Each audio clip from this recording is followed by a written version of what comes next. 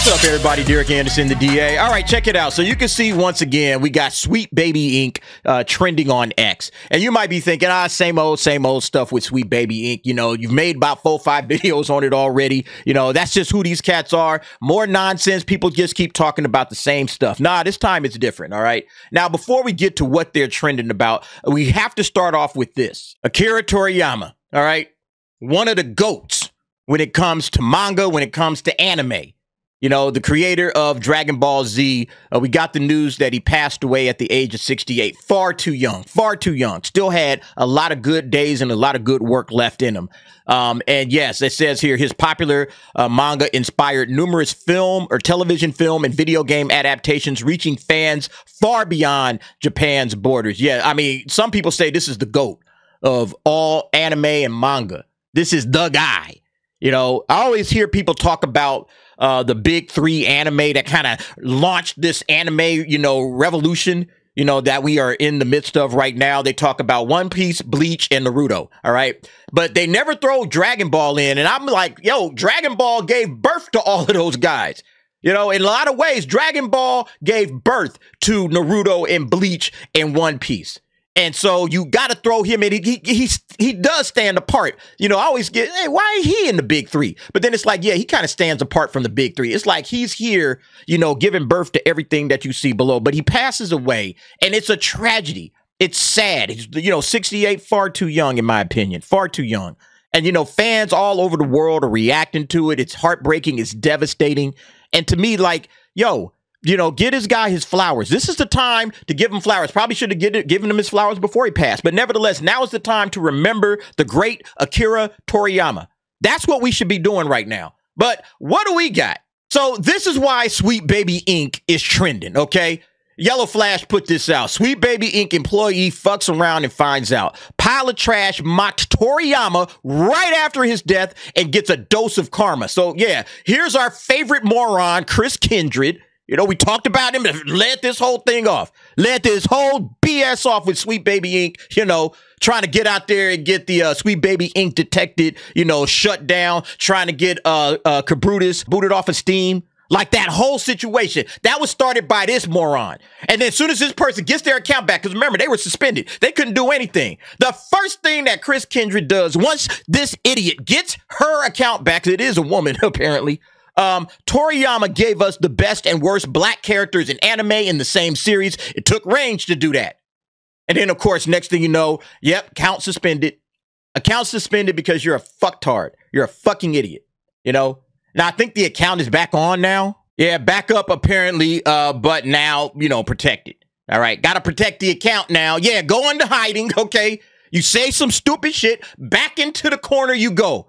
Vanquish these assholes to the nether regions. That's what we need to start doing. Make them protect every damn thing that they got. Nah, y'all can't get out here and play in polite society because you're jerks and assholes. You got to just remove these people out. And I love it. Yeah, protect all your shit, lock your shit up. Eventually, these cats will just disappear into the atmosphere. Like I say, off to the nether regions, you know, never to be heard from again. That's what's beautiful about the way X operates now. Back in the day, these cats thought that they had the juice. They had the juice. They was the ones running X or, or Twitter back then. They were the ones running it. But now, oh, we coming for you, okay? You put some dumb shit out there like this. You put this kind of insulting, nasty garbage out there about a, a legend that just recently passed. Like, damn, you couldn't wait like a week to start posting your bullshit? No, you had to do it like the day of. The day we found out, I think he actually passed away on March 1st. At least that's what I saw. But yeah, you couldn't wait. Couldn't wait. Soon as we, oh, he said, oh yeah, let me go ahead and type some bullshit up. Like, fuck. Yeah, and then you can see this person was, the, the ratio was cracking on. Okay, the ratio was on and popping.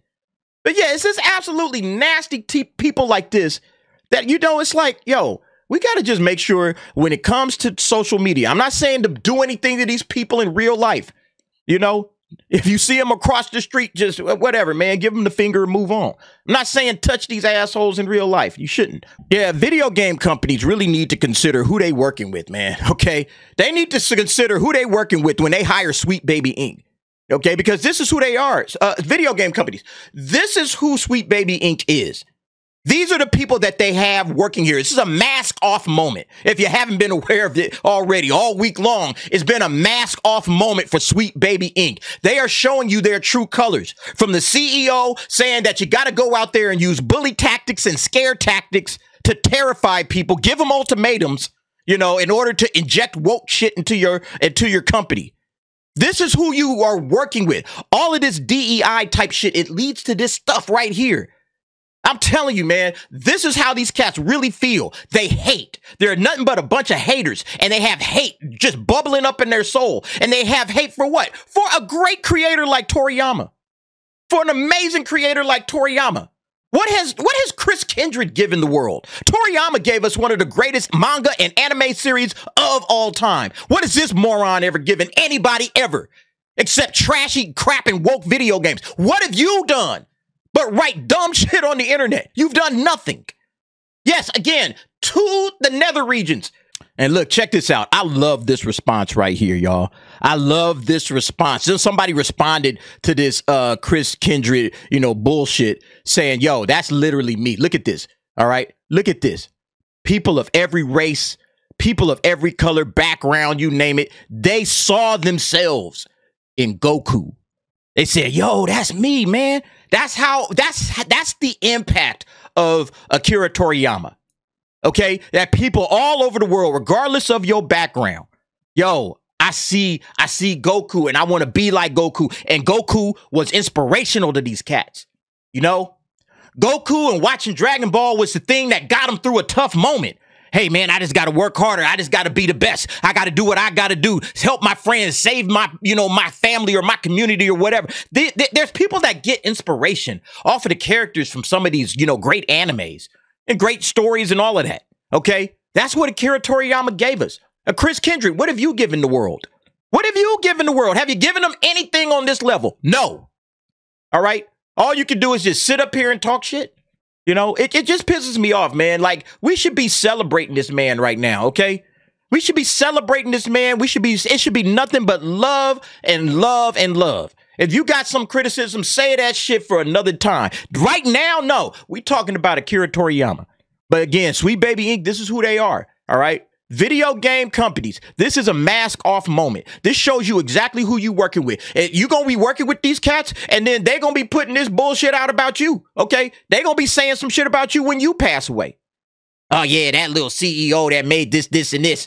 Yeah, they was this. So, you know, they just going to be talking shit about you because they ain't nothing but a bunch of sad little haters. Sad little haters. Again, vanquish them. Yeah, this is how it should be, okay? Lock it all up.